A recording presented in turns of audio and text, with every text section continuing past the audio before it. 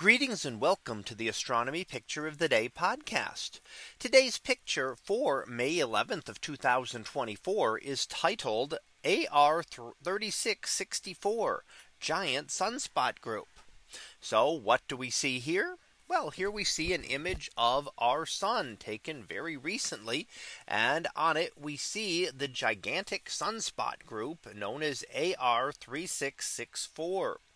Now this image was taken just a day ago. So this is currently on the sun.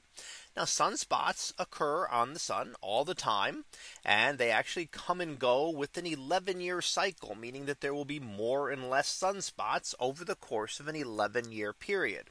Individual sunspots may last a month or a couple of months. So they will come and go within that time. But right now we're at a peak of sunspots. And when we get more activity, sometimes we do get larger sunspots such as this one.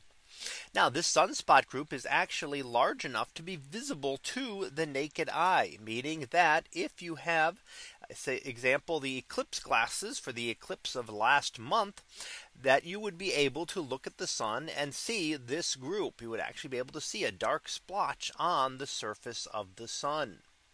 Now the act what is what happens in an active region like this? Well, this is the site of many things like solar flares and coronal mass ejections. And those are uh, very violent storms of material being thrown off the sun and could be directed toward Earth.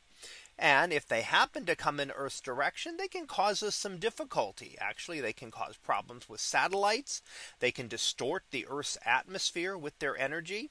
And they can actually affect the electrical power grid.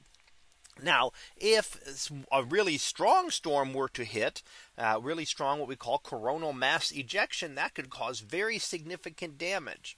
And that would have to strike Earth directly for it to be that that intense. But that has happened in the past back in the 1850s. And at that point, the uh, energy was enough to cause sparks in the telegraph lines. So it could raise havoc with modern electronic equipment, including frying some equipment if the storm were intense enough and directed straight at Earth. However, we do have to remember that the likelihood of any giving given flare uh, striking Earth directly is very small because of the very large distance around the solar system. It would have to come directly toward Earth and it would be much easier to miss Earth than to hit it. Now one of the other things associated with the sunspot groups are increased auroral activity. So the aurora will become stronger because there are more charged particles coming from the sun that will strike Earth's atmosphere.